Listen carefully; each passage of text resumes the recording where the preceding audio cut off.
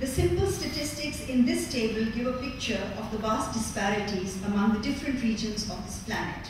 If you look at the last line, in the US, the computers per 1,000 people, there are 810 computers per 1,000 people. Look at South Asia, 22 computers per 1,000 people. If you look at internet users per 1,000 persons in the US, it's 740, as opposed to 46 in South Asia. So please note that the digital divide is not a figment of people's imagination. It's real, it exists, and can be pictorially depicted as follows. If you look at the outdoor class in Africa and the computer class in Europe, you can immediately see the difference. Or the house in Malawi and the MIT Media Lab in the US, this comes home very, very significantly. But the divides are not just about technology. The regional, class, gender, and ethnic divides in the digital world have been well documented by many studies. The access to educational technology in terms of gender has been a well-reviewed subject and many studies have found that the gender differential exists even in developed countries in terms of accessing and resourcing ICT infrastructure. Similarly, the digital divide also has a geographical and racial dimension. As these dimensions of the digital divide get reflected in the OER, is it possible that OER can become a resource for education and learning, a genuine resource? This may partly explain the latent resistance to OERs in some contexts. The other explanation may relate to who owns and controls the OER networks. And I'd like to quote the full quotation from Manuel Castells. I've just given a bit here on the slide. And what he says is, there is a fundamental form of exercising power that is common to all networks, exclusion from the network. However, because the key strategic networks are global, there is one form of exclusion, thus of power, that is pervasive in a world of networks. To include everything valuable in the global while excluding the devalued local. There are citizens of the world living in the space of flows, and that might include all of us, versus the locals, that means the really marginalized, who live in the space of places. Because space in the network society is configured around the opposition between the space of flows, which is global, and the space of places, which is local, the spatial structure of our society is a major source of the structuration of power relationships. In his analysis of the network society, Castells has elaborated the network making power, which operates on the basis of two mechanisms. The ability to constitute, program, and reprogram networks, and the ability to connect and ensure cooperation. Important stakeholders of education may be far beyond this network making power due to regional, gender, class, and ethnic factors. It is obvious that Africa, South Asia, and Latin America may have limited potential in network making power. These types of power play a major role in the inclusion and exclusion of various stakeholders. It is perhaps because of the, these inequalities that institutions and individuals from the global south have hitherto had a limited role in OER creation and dissemination. OER requires social movements which will result in institutional change. The present debates in OER are too focused on technology and there is rarely any discussion on issues such as stakeholder engagement and the politics of power.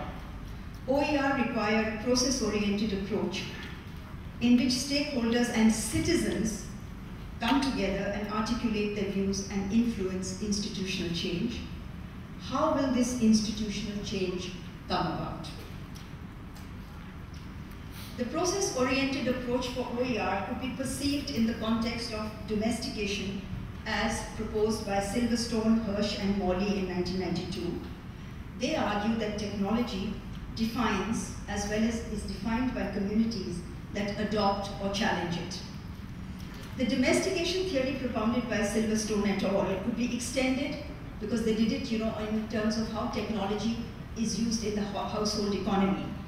We can extend this to the community, to the national and international levels, and especially for OER to become a truly open resource in which every type of stakeholder could participate.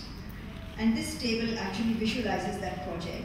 For example, the first stage is appropriation, which means access to the appliances, the technology, the communication networks, but not just to those, but also access in terms of social, access in terms of class, gender, and ethnicity. So we are talking about wider democratic values here. Localization, how we can actually adapt the OERs to the social, political, and cultural values of different contexts. Incorporation, how every stakeholder should actually interact with the OERs and then incorporate them into their own educational goals, not into somebody else's educational goals. And finally, the stakeholder is encouraged to look beyond the community and reach out to global communities, thereby also influencing the structure and functions of OERs. Domestication is crucial for various stakeholders to get involved, influence, and be influenced by OERs. It is only then that the, this can become a mass movement, and when it becomes a mass movement, then it can actually have a real impact in the developing countries. Finally, a participatory approach is again very important as part of the governance of OER Technology is de definitely one of the influencing factors in participation. However, by itself, it would not be in a position to stimulate the involvement of various stakeholders. Many educational st institutions still have traditional governance structures and teacher-centered pedagogic models. The OER initiative requires a learner-centered and decentralized approach. There is then a basic contradiction between the centralized and decentralized institutional models. Such contradictions can be addressed through an effective governance framework, which would help to strengthen the participation of all types of stakeholders. Now, if you look at the trends in the last 10 years, and I'll give you some of the examples from our own experience.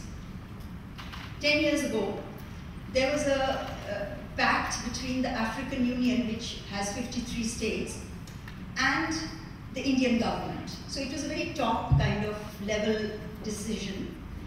India had EduSat, which was a satellite solely dedicated for education. And the, uh, the decision was to use the footprint of EduSat in Africa for education and training in health. Now, here the whole decision was based on technology. Technology came first here, and it was a top-down approach, therefore not that sustainable. The second phase is the African Virtual University that many of you have heard of. The World Bank set it up in Nairobi.